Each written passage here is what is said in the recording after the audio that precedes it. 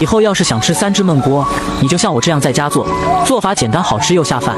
首先碗里放黄豆酱、甜面酱、番茄酱和生抽，搅拌均匀，然后准备点自己爱吃的蔬菜。我每天都会分享简单的家常美食，您就留个关注吧。以后想吃不会做还能找到我。鸡翅打好花刀后加姜蒜、料酒、盐、胡椒粉、老抽，抓匀腌制十五分钟，然后把所有食材放入锅中。